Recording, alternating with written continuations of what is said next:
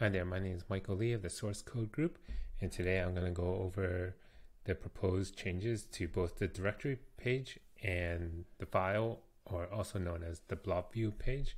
And the whole idea of this redesign is to um, give these pages structure, such as title, uh, ordering of the information, uh, just general page flow. And the second part is uh, simplifications of the actions uh, that we provide for users to interact with at both directory and page level.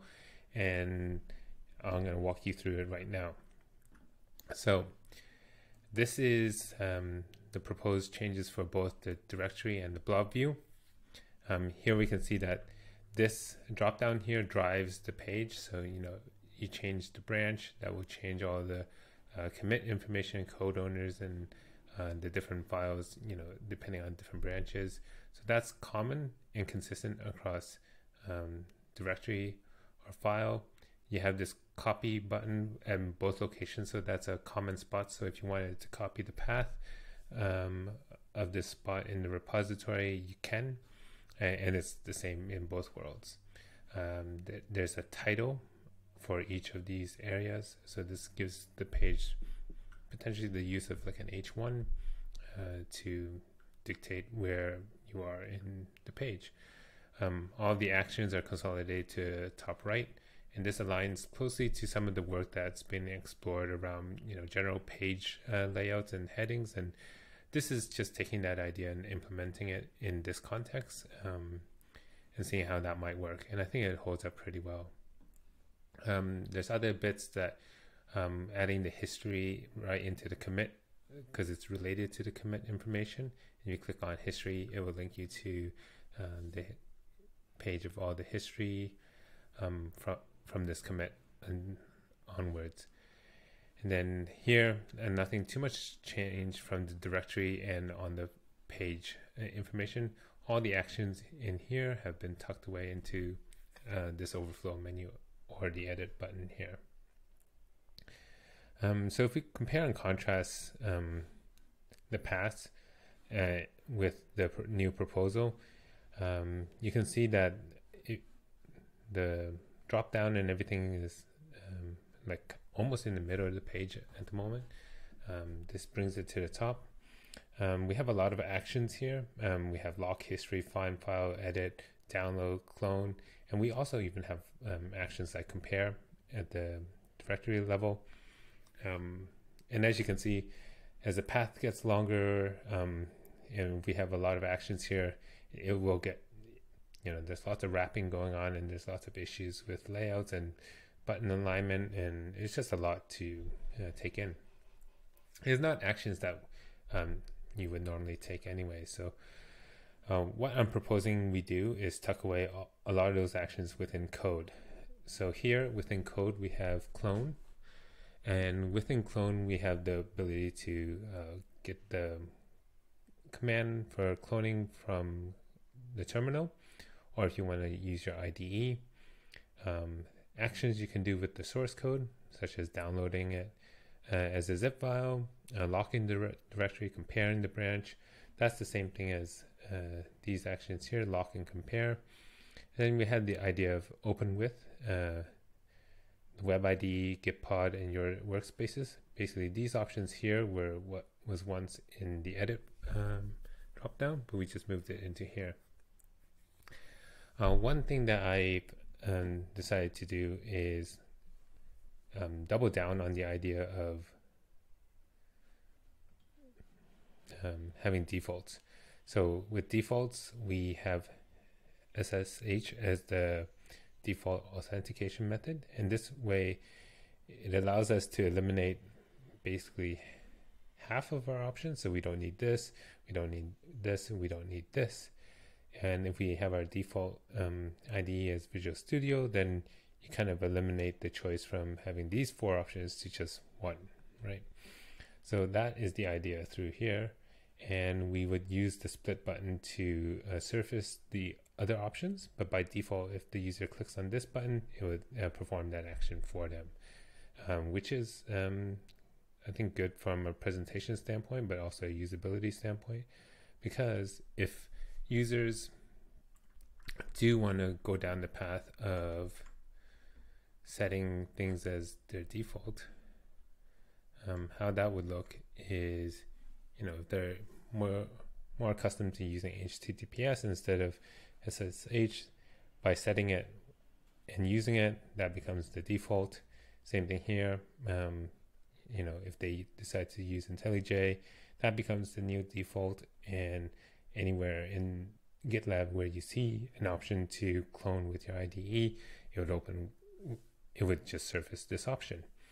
Um, and it makes it more customizable to the user. For example, here, uh, the default is zip because it's something common used across Windows, Linux, Mac, uh, whereas tar is more accustomed to Unix and Linux um, operating systems, and tar is just one giant file, and GZ and BZ2 are just compression algorithms on a tar file. So they're all very related, but you know, if you have a preference over this algorithm over this algorithm, you'll never use gzip, right? So you just use that one. So if you chose that, that becomes your personal default uh, for your um, for your um, GitLab interaction. So we're surfacing fewer options, but more specific options per users. If we use this idea of the split drop downs that remember um, the user's last choice.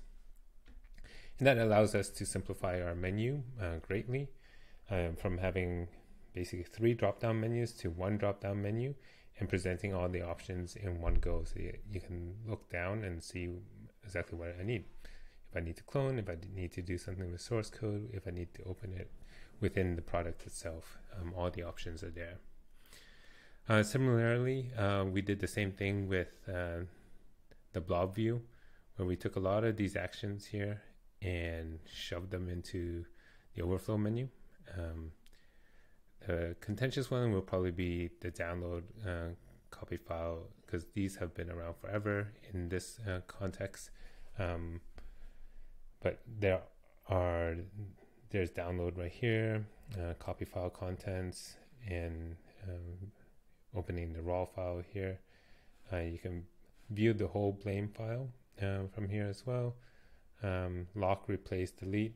Um, delete, we're going to surface as an action that um, you know you're going to delete the file, so potentially highlight in red.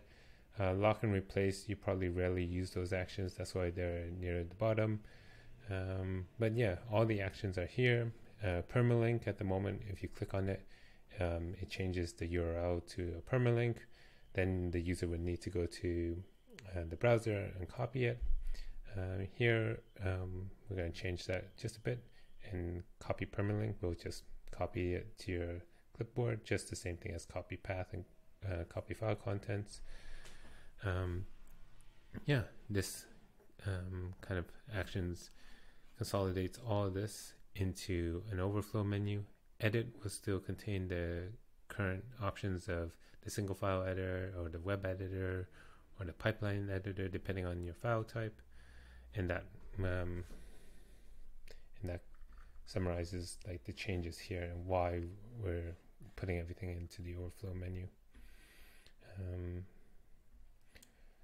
there's one comment that potentially may arise right now is that like you know now because of introducing the title you know i have application R, rb one two three times um, and i think that's okay for now we're just going to maintain it for now as we figure out what we really want to do with this area here um, there's some on some you know if we remove it um, it's kind of weird with this just gray area. Um, but potentially we could consolidate all these um, gray boxes into a simpler view. Um, here we have code owners. On the overview, we can, like on a popover, we can view the same information. Same thing with commit. Um, you know, the last commit. Um, I think the date is very important. Um, what it was not so important to display right away, but perhaps hovering over this could display a popover with the same description as here. Um, this is an idea at the moment. because there's other stuff in flight um, that could change this layout, such as um, seeing how this looks as preview code and blame view. Um, that's something that we're experimenting with. Um, seeing if find file makes more sense to be up here. Um, yeah, this could be a future potential, but um, I'm less confident about that at the moment. Hence, we're just gonna stick with this right now and then iterate our way as we learn further about uh, these pages. Thank you.